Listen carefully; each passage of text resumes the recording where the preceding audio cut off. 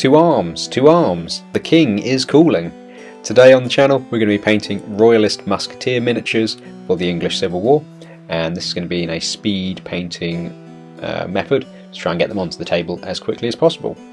So firstly what we do is use Crimson Red from System 3 and I like to water it down a little bit but then just paint that over the miniatures. Um, it's up to you, you can either go helpful ever and just cover everything, or you can be a little bit more careful and try and avoid the areas that you're going to pick out later with lighter colours such as whites and creams. Um, doesn't really matter, it's entirely up to you. Uh, just do what works for yourself. Um, as you can see on these, I did base coat using grey primer. Um, it's always worth priming with something, whether it's grey or black or white, um, entirely, entirely up to you. I prefer a grey or a black just because it puts a bit of shadow in, um, whereas white you're really just building up from no shadow whatsoever. That's entirely your choice.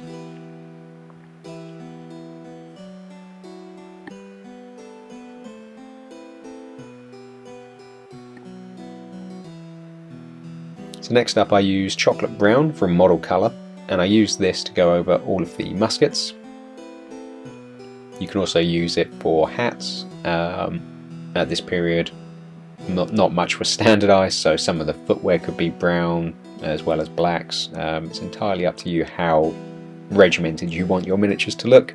Also, some of them have sort of uh, satchel shoulder bags. You could paint some of those in dark brown, light brown. It's entirely up to you. Uh, for me, I didn't. I just did the muskets um, and a couple of their heads or uh, headwear and then I'll do the boots um, and the bags a different colour later on. But as I said, it's entirely up to personal preference. And when it comes to painting the uniforms themselves, at this point in time, there weren't really standardised colours for the armies, at least definitely at the start of the war. Um, different regiments would have been in different colours. Some royalists and uh, parliamentarians would have been in red, some would have been in tan. There were whites, greens, yellows, apparently there was a purple, um, yeah, most colours were worn. It really just depended on which unit it was, who was funding the unit, whether they were basically just people who had come together wearing whatever they had, or whether they were being slightly more equipped by uh, the local gentry. Um, yeah, there was a lot of variation, and even within the units, there still would have been variation also as stuff wore out on campaign and they made do with what they could get. So there's quite a large array of options for you to really make these miniatures your own.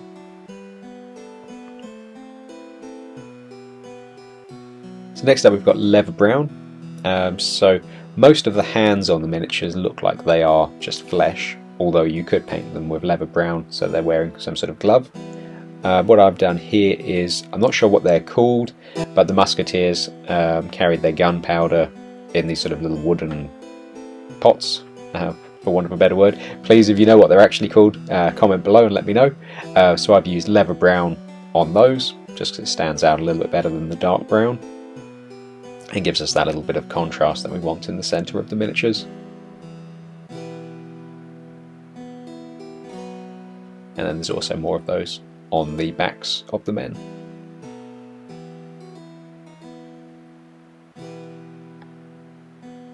So they are a little bit fiddly, so I would say best technique would be to sort of draw your brush across rather than painting directly down.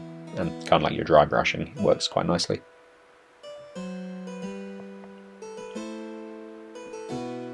So next up we use black, uh, black from Game Colour.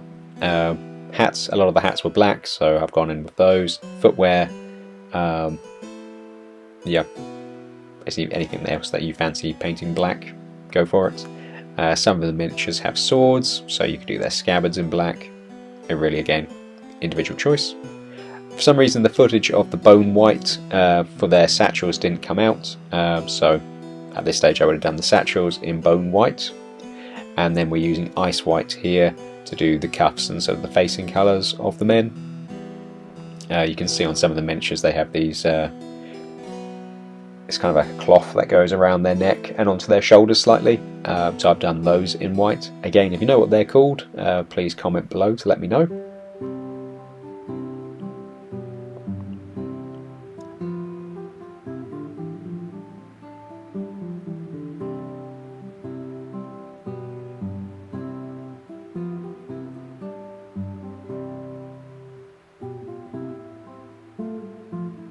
But yeah, as you can see, uh, the satchels on the back and some of the belt straps I did do with the bone white, and I think they stand out quite nicely.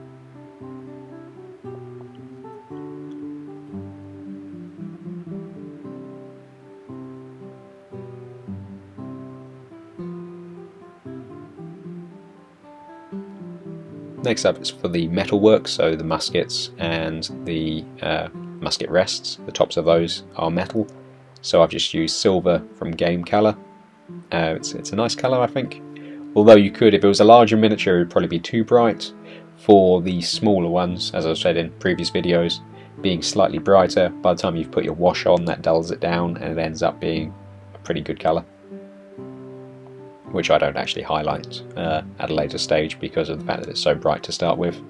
Um, just putting the wash on brings it down into a, a good level.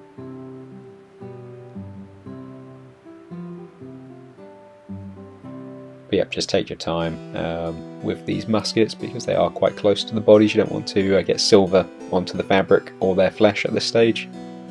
So nice and gentle.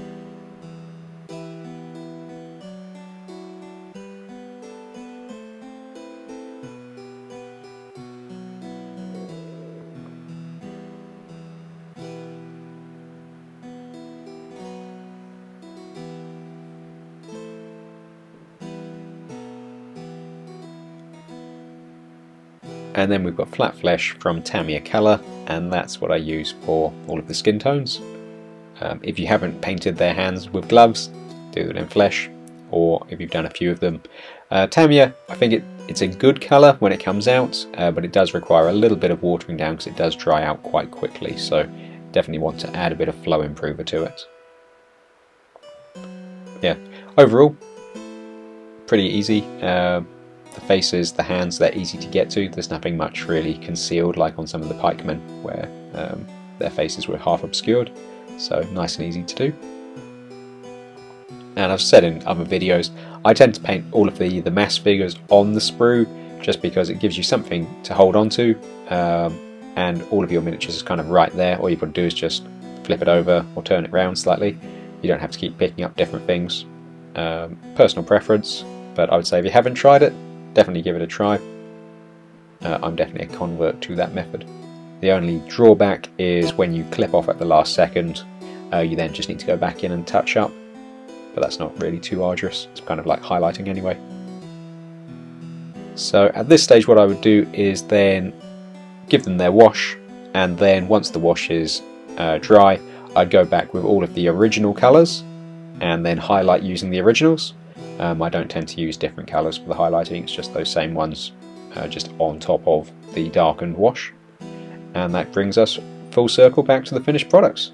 So overall guys, I hope that you've enjoyed the tutorial, uh, taken some tips away, things that you found interesting.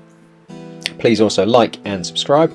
Uh, leave some comments below again for things that you want to see me do next. And until next time, take care and keep gaming.